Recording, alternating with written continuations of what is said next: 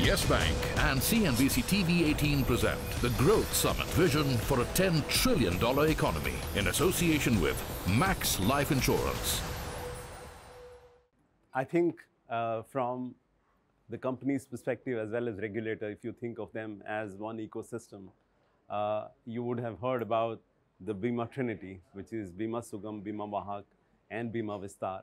I think that is required to drive penetration because so far insurance as a sector has focused more on savings, more on large cities, more on saving pools. I think time has come for us to divert our attention not just to this pool, but also to underserved, also to people who don't have access.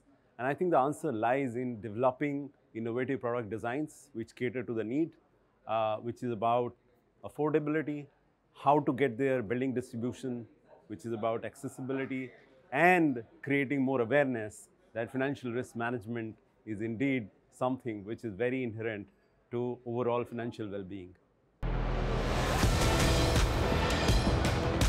Yes Bank and CNBC TV 18 present the Growth Summit Vision for a $10 trillion economy in association with Max Life Insurance.